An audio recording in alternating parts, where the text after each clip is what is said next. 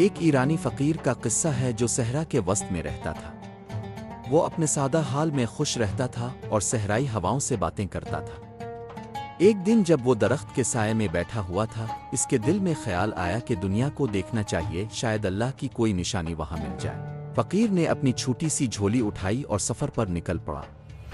वो कई दिन तक चलता रहा, आखिरकार एक सरसब्ज वादी में पहुँचा जहाँ एक खूबसूरत नदी बह रही थी।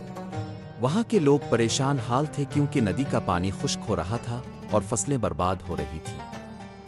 फकीर ने वहाँ के लोगों से पूछा कि क्या हुआ है। लोगों ने बताया कि नदी के पार एक देव ने नदी का पानी रोक लिया है। फकीर ने नदी के पार जाने का फैसला किया। जब वो नदी के पार पहुँचा तो उसने देव को देखा जो गुस्से में चिंघाड़ रहा था। फकीर ने देव से बात की और इसे बताया कि जुल्म कभी देर पा नहीं होता। देव ने फकीर की बातों में सच्चाई महसूस की और अपना गुस्सा छोड़ दिया। इसने नदी का रास्ता खोल दिया और नदी फिर से बहने लगी। लोगों ने फकीर का शुक्रिया अदा किया और उसको दुआ दी।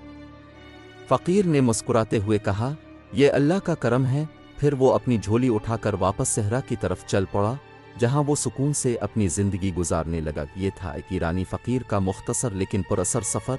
जो अल्लाह की निशानियों को देखने निकला था और रास्ते में एक बड़ी मुसीबत को दूर करके लोगों के दिलों में बस गया।